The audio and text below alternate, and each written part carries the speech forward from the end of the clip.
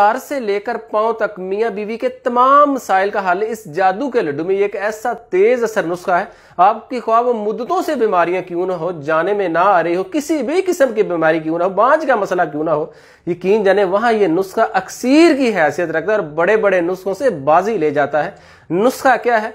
गुड़ आपने 50 ग्राम लेना है, तिल सफ़ेद 50 ग्राम लेने हैं, तिल स्या 50 ग्राम लेने हैं। पिसा हुआ नारियल आपने 50 ग्राम लेना है और हालून के बीज आपने 50 ग्राम लेने हैं।